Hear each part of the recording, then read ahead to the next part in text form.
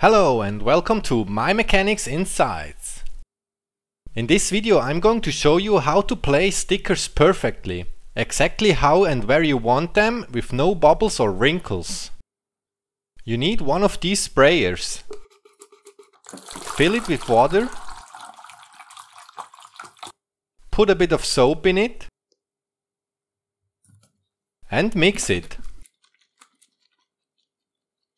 I'm going to place the first sticker on a piece of glass. Clean the surface and degrease it with acetone. Spray the soapy water on it and put the sticker on it. Now we can move the sticker around and place it exactly how you want it. I'm using this plastic spatula to get rid of the soapy water. You could also use a credit card or something like that. It just needs to be a bit flexible.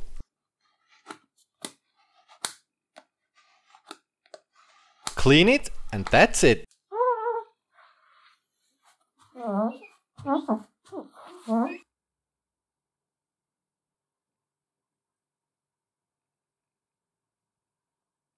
I'm going to show it to you one more time. This time I place a sticker on a painted metal sheet. Don't use acetone to degrease painted parts and parts made out of plastic. Acetone might be too aggressive and ruin your surface. I'm using soapy water instead to clean it. The rest is all the same.